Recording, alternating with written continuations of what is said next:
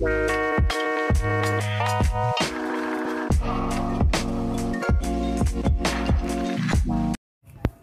semuanya, selamat datang kembali. Di video kali ini aku cuma mau share hasil grocery haul aku di Grand Mall dan keep on watching. Nah, di sini aku beli unicorn Chinese tofu 300 gram harganya 8.000 dan tempe, dua tempe ini satu tempenya harganya 6.500 beda ya kalau di pasar karena aku belinya di supermarket jadi lebih mahal. Nah ini daun bawang harganya itu sekitar 7 ribuan. Dan sayur pare ini harganya berapa ya? Aku lupa. Oh ya harganya 9000 dan brokoli harganya 13500 tuh. Dan bak uh, sosis sosis tuh ini kesukaan aku juga. Nah sosisnya itu harganya 19.500 dan craft single ini harganya 18.000 terus harga dari bakso ini namanya star bakso ikan itu harganya 11.500 cheddar cheese pro cheese. Berapa ya? Aku lupa. Nah kalau ini harganya 2.600 indomie rasa rendang ya kalau mie goreng ini enak dan suami aku yang milih mie gorengnya. Dan uh, coba deh teman-teman coba milih yang rasanya apa sih hype hype gitulah pokoknya ya. Dan selanjutnya ini ada potato buat cemilan aja. Ini murah sih harganya satu bungkus itu sekitar 9000 dan potato tuh enak banget buat cemilan kalau lapar. Aku beli itu langsung 4 bungkus karena semuanya suka di rumahku nah lanjut Nah ini ada tepung beras. Tepung beras ini aku mau buat uh, um, peyek atau mau buat campuran di tepung terigu. Itu harganya berapa ya? Lupa. Oh iya harus brand tepung beras 6.500 dan kopi gote itu harganya 7.500. Desaku ketumbar 150 gram itu harganya 4.600. Minyak Fortune dan minyak Sanko, Fortune 11.000 dan Sanko 23.000 dan minyak kara coconut oil ini harganya 27.000 nah lanjut aku selanjutnya ada beli telur juga. Aku beli 2 pack. Harganya masing-masing pack itu harganya 13.000 ya. Nah ini emping melinjo emping belinjo dan ini bersih. Harga harganya itu sekitar 68.000 satu kotak ini. Beratnya sekitar 1 kilogram. Nah lanjut. Sini aku ada beli satu botol tauco gitu. Harganya 18.000 satu botol gitu. Dan ini mili makarel sarden kesukaan. Aku karena dia besar-besar gitu dalamnya. Aku beli dua kaleng harganya 29.000 dan bumbu rendang itu 3.500 satu bungkus gitu. Nah ini uh, kunyit kunyit sachet gitu yang bubuk yang powder. Harganya 1000 aja aku beli 4 bungkus.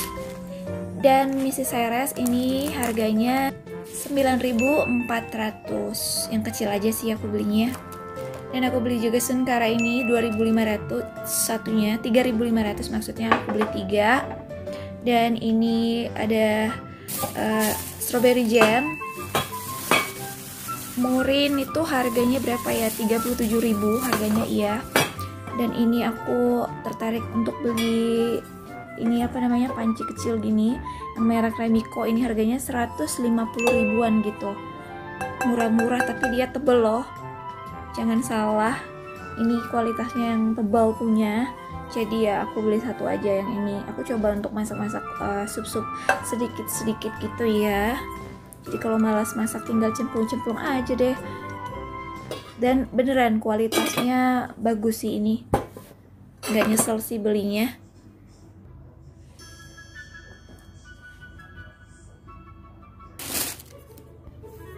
Hehe, kalau aku lihat perintilan-perintilan yang dari bahan-bahan stainless kayak gini kalap udah. Kalau ada yang seperti ini aku beli satu ini harganya 50.000 untuk tempat sendok dan spatula-spatula dari kayu gitu sutil-sutil dari kayu. Karena dia bolong-bolong jadi dia uh, kayunya tuh nggak nggak gampang jamuran guys. Lanjut. Di sini aku juga ada beli sampo buat stok aja buat uh, suami dan Kevin anak aku. Di sini ada uh, Colgate siwak. Ini harganya kalau nggak salah 11.000 ya. Dan sabun mandi Dove ini asli wangi banget. Harganya itu sekitar 25 ribuan gitu. Kalau nggak salah ya 25 ribu iya betul. Dan Lifebuoy ini harganya 28 ribu kalau nggak salah lagi aku. Eh bukan bukan. Uh, 35 ribu maksudnya. Dan ini uh, si bengkoang untuk aku maskeran gitu karena aku udah lama banget gak pakai masker seperti ini yang krim-krim gitu. Itu kalau nggak salah harganya 6.000 apa 5.000 gitu ya. Lupa deh. Nah ini sunlight andalan yang selalu aku beli harganya itu 14.000 ya. Nah si mama power stand ini harganya sekitar 10.000 10.500 gitu. Ini bagus beneran ini bagus aku udah coba. Dan ini mama lemon yang uh, apel gitu ya. Ini enak enak banget ini, bagus bagus banget. Bisa untuk buah ini harganya uh, eh, 11.500 harganya jadi murah-murah meriah aja ya. Dan lanjut di sini aku juga ada beli uh, untuk kulit hand body gitu Garnier.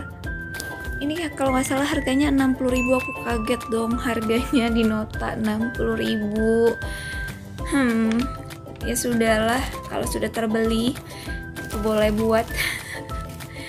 Lanjut di sini aku ada beli uh, CIF SIF ya kalau nggak salah bacanya itu harganya sekitar 23.000 ini pun bagus juga sih untuk pembersih krim pembersih gitu. Dan ini Scott Bright Sponge harganya 3500 satu uh, bungkus gitu. Satu sponge mas maksudnya. Dan ini Gatsby untuk suami aku. Macam-macam aja suami aku ganti-ganti kalau untuk rambutnya ya. Harganya berapa ya harganya 15.000 ternyata. Murah-murah meriah. Dan gulaku dan gulaku ini berapa ya? Aku lupa deh harganya berapa. Kebetulan aku ada beli dua gulaku dan uh, yang yang rasa tebu gitu yang warnanya lebih terang dan warnanya tuh agak kecoklat-coklatan gitu. Dan ini aku beli Sanko dua dua bungkus kayak gini dan juga beras uh, ini beras premium yang dari Horas beras Horas nah ini aku udah lama sih ini 10 kilo ya itu harganya sekitar 135.000 gitu. Nah, demikian seluruh grocery haul aku kali ini. Ini belanja nggak tentu, belum tentu satu bulan. Kalau untuk eh, makanan-makanan yang basah-basahnya itu kayak uh, mie 5 karel, telur ini pasti sudah habis. Kalau untuk uh, pembersih kalau di aku sih nggak belum tentu satu bulan habisnya bisa jadi satu bulan setengah atau dua bulan gitulah ya Cukup sekian dulu dan terima kasih buat teman-teman semua yang sudah nonton. Semoga video ini bermanfaat dan teman-teman memperoleh informasi dari setiap harga-harga yang aku mention. Bye bye, sampai jumpa.